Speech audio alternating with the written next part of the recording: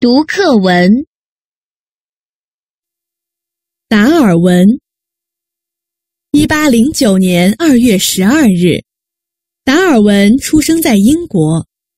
他的祖父是一位医生、诗人和动物学家，他的父亲是当地一位很有名的医生。他们家门前有一个很大的花园。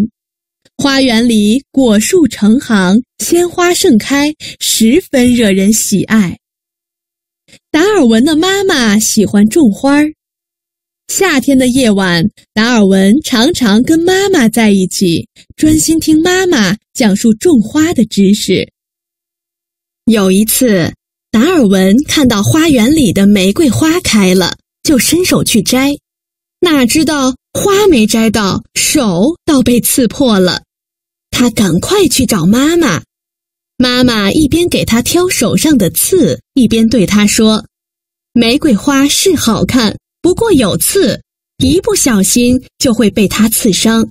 以后你不要再去摘它了。”接着，妈妈又给达尔文讲了许多关于花的知识，达尔文听了连连点头。花园里还有很多小鸟和昆虫。达尔文很喜欢这些小生物，他收集了各种各样的标本，有惹人喜爱的鸟蛋、色彩艳丽的大小蝴蝶和各种小甲虫。上小学的时候，达尔文的口袋里、书包里总是装满了各种各样的石头和动植物标本。他不仅爱收集动植物标本，还阅读了许多描写动植物的书。